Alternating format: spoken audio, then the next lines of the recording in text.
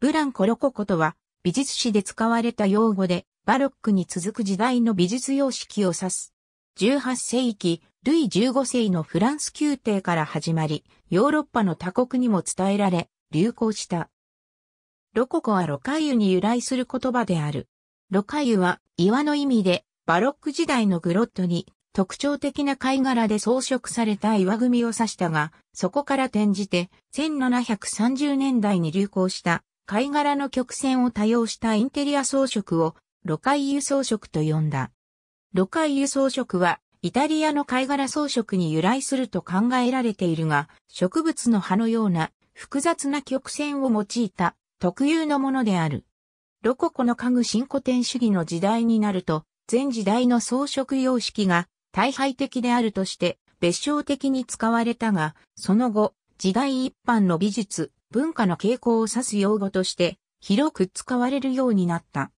ロココ様式、ロココ建築、ロココ趣味などと使う。豪壮、華麗なバロックに対して優美、繊細なロココとも言われるが、両者の境界は必ずしも明確ではなく、ロココはバロックの一種と考える人もいる。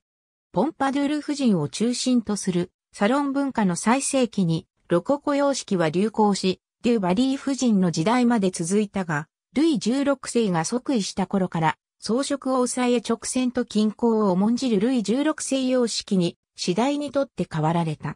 しかし、ロココ的な美意識や雰囲気は宮廷が実権を失う1789年のフランス革命まで継続した。スウェーデンでは1771年に即位したグスタフ3世の治世をロココの時代と称している。スウェーデンのロココ様式の流行は1792年にグスタフ3世が暗殺されるまで続いた。詳細はロココ建築を参照のこと、ポンパドゥール夫人の肖像ロココ様式はインテリアのデザインや装飾として出発し、建築などに波及していった珍しい例である。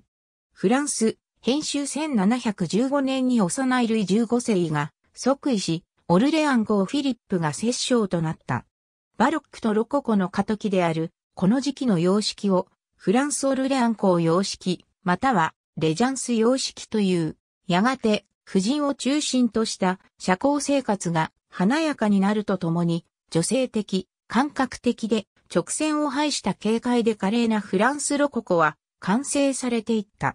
フランスロココの家具は、装飾彫刻はバロック様式に比べて浅く彫られ、ライトグレーやクリーム色などの淡い色に金箔を押したものが多く、カブリオールと呼ばれる曲線の足を持ち、陶磁器や金メッキ金物との組み合わせといった特徴がある。オーナメントの主なモチーフはアカンサス、貝殻、渦巻き、婦人像などがあり、アシンメトリーのデザイン手法が用いられた。イギリス、編集、アン女王の知性に、ブルジョア家庭に流行した家具は、クイーン・アン様式と呼ばれる。クイーン・アン様式は、フランスバロックのスタイルを残しつつ、貝殻の曲線や角の丸み、猫足などのロココの要素が取り入れられている。大ぶりな安楽椅子であるウィングチェアはこの時代に誕生した。イギリス家具市場でジョージアン時代と呼ばれる時期に家具デザイナートーマス・チッペンデールが税を尽くした宮廷用家具を美しさと合理性を持った庶民用へと変化させて工場で量産した。チッペンデールの庶民向け家具はチッペンデール様式と呼ばれている。チッペンデール様式はクイーンアン様式をフランスロココ風に変形させたもので、スワンネックやカブリオールの先端に施されるボールクローと呼ばれる玉を掴んだ爪の飾りに特徴がある。また、ゴシックやシノワズリの要素を取り入れた家具も多い。イタリア、編集家具に関しては、後期バロックとイタリアロココの区別はあまりない。花綱、花束をモチーフとした豊かな曲線が好まれた。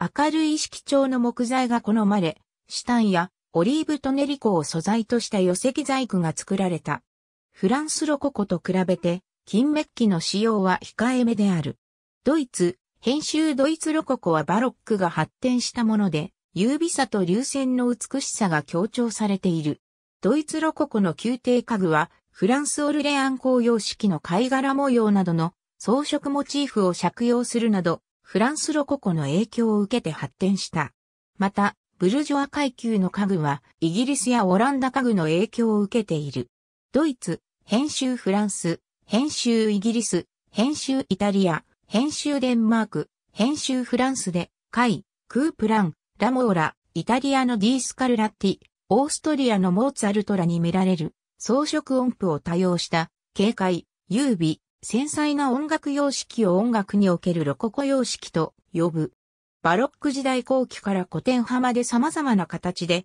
現れ、別名ギャラント様式とも言う。フランスにフルールとロカイユという香水がある。ありがとうございます。